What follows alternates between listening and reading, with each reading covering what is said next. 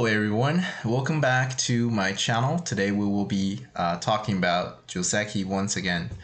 Um, so let's just quickly add a couple moves on board. Um, so we're still working on our um, low approach. So this is the most popular uh, move.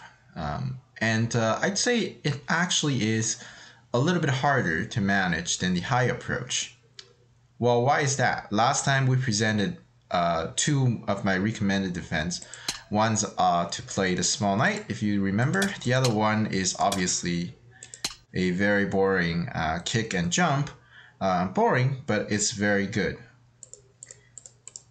Well, the complication does not come from black. It really depends on what white plays next. And then uh, a few of my viewers have also mentioned, hey, uh, can you actually just cover some of the pincer variations? Could you go into details um, so we can learn them as well? Well, the answer is that not really, because um, not because I don't want to show you guys some of the great variations that pincers can give you, Rather, my level is not there. I'm not a professional player. It is very, very difficult for me to cover pincers uh, in great details. So let me just show you what I mean, right? So let's say, for example, white goes ahead and plays a two space high pincer.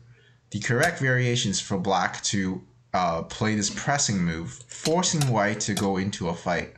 Uh, I'm just gonna quickly play out one of the possible variations uh, that is recommended by AI. So when black hops here, um, here white uh, pretty much has a, a, few choices. There, there are already several branches that each leads to very complicated variations. But I can show you what AlphaGo has once recommended. Uh, that is for you to play this one. Already looks very, very tricky.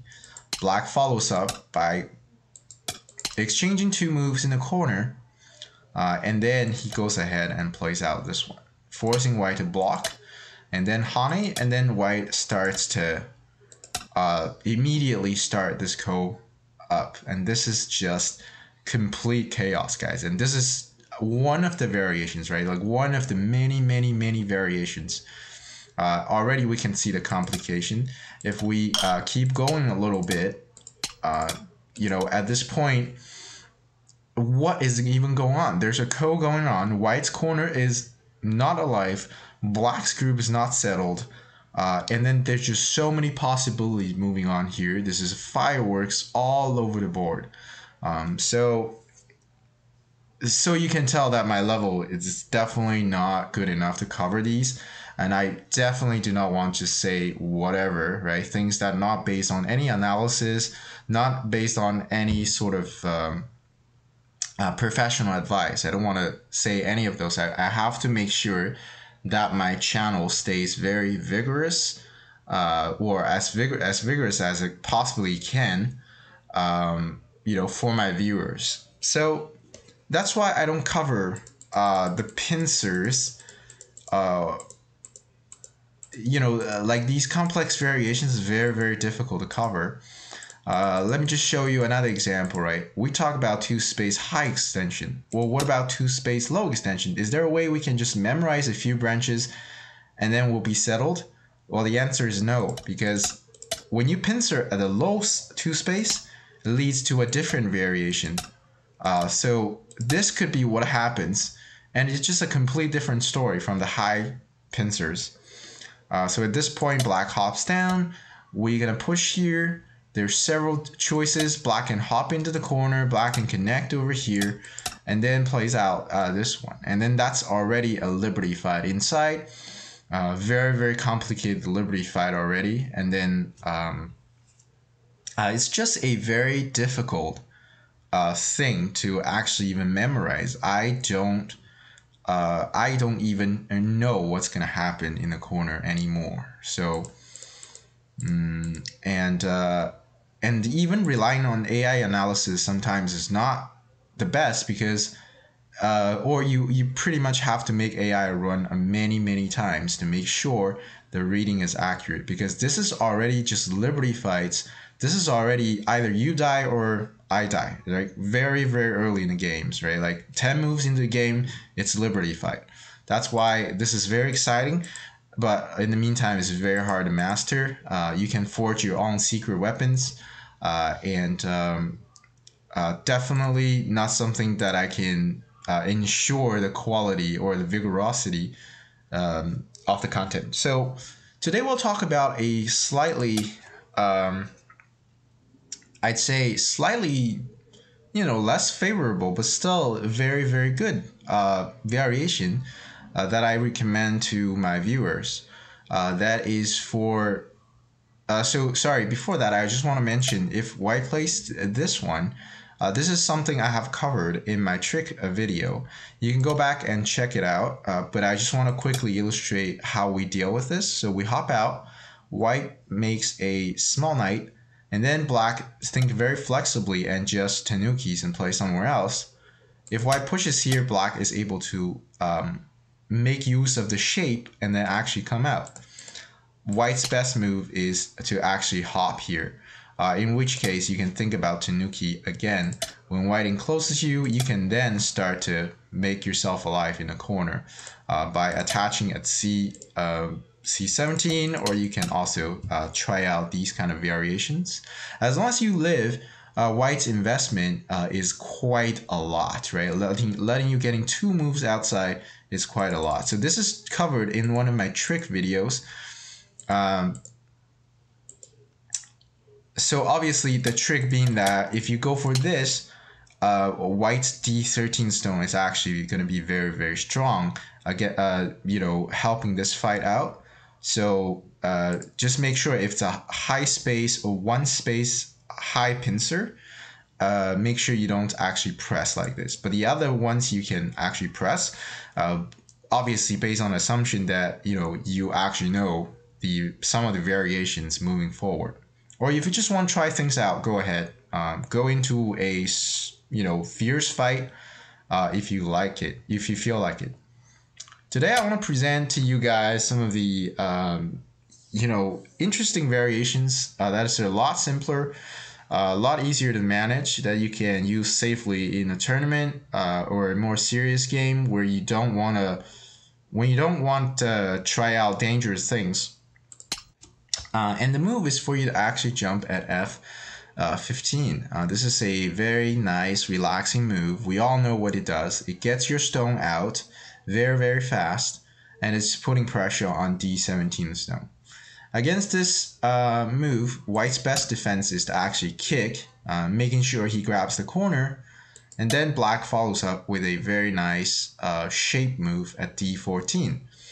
So so now, for example, if white jumps here, obviously white does not want to allow black to hop here. This not only pressures the corner, but also strengthens black's side. So this is a huge move to play. Uh, and then you can just go ahead and exchange these two moves. Uh, and then you can feel free to Tenuki uh, from here. The reason you can Tenuki is because your group has a very vivid shape and it's very hard to attack uh, this group actually uh, because this stone is already out uh, and then your shape looks um, looks like it has a lot of eye space and it's very flexible so that's one way you can uh, deal with the pincer. This is a very good way to deal with the pincer actually.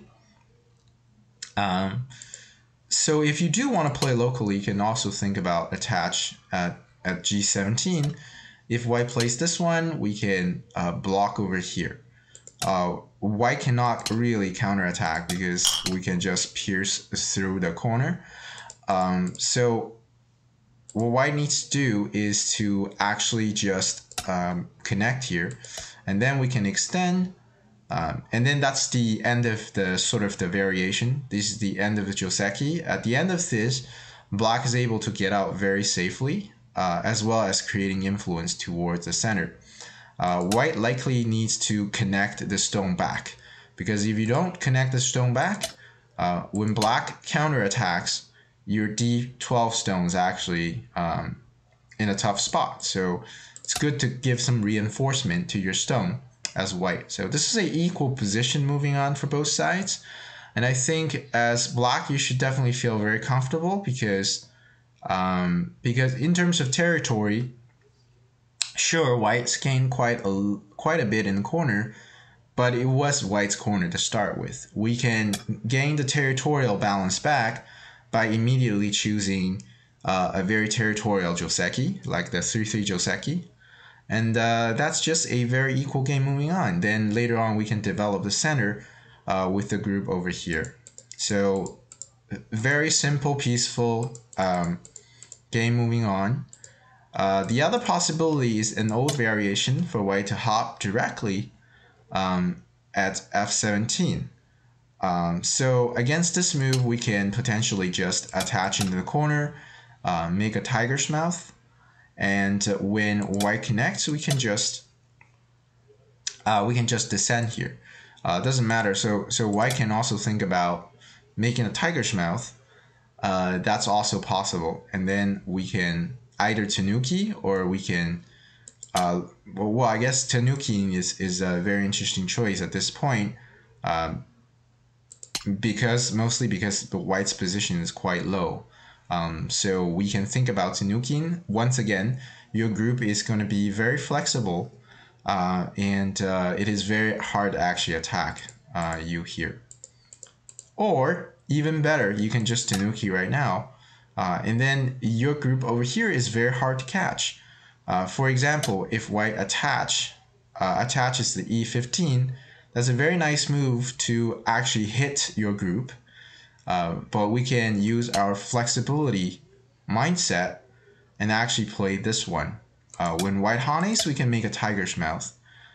Um, so here, white is already in a tough spot. If you play out this one, I can just push uh, at e16. So this is a, a very nice move that completely destroys you know, the attack over here. When you play this one, I can Atari, and when you connect, I can completely capture the E15 stone. So as we can tell, black has a very nice shape, squeezing white's corner uh, onto the second line. So this is a very nice position for black to be in, especially considering that black already gained a super big move outside. So yeah, that's pretty much it. I think uh, that should be it, right? I don't see any other uh, worrying, uh, worrisome moves uh, really. Uh, at this point, uh, the two main variations really for white to kick. Sorry, you don't extend. Uh, I recommend you to actually play this one. Uh, and uh, the variation is very simple. Uh, we attach a G17. That's a very big move. Uh, when this happens, we can just call this a day. So that's uh, the first variation, variation you kind of need to remember. And the second one is when white hops here, uh, we can attach into the corner, but obviously I recommend you to, to Nuki um, because it's very difficult to catch these two guys. If white goes for this one, we can attach in the corner, uh, and this is very hard to deal with. So, so when white plays out this one, uh, we can just play out like this, right? Making use of the weakness in the corner, connecting ourselves back, and completely uh, making this E15 stone looks very, very bad, right? Because this is a useless stone right now. So after a few exchanges, black can be very happy uh, by capturing the E15 stone completely. Uh, this group is very, very strong now. And that's actually a leading game for black. So white should probably not play uh, play an attach here.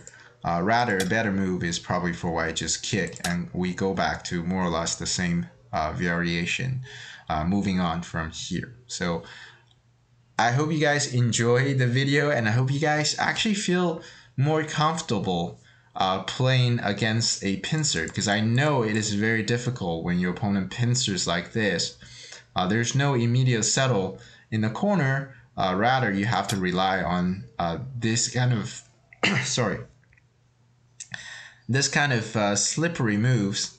Um, and uh, actually turns out to be not so hard to manage, right? So hope you guys uh, like this and actually can make use of this in your games. So for now, thank you very much for tuning in. Don't forget to like and subscribe to my channel, and I'll see you in the next video.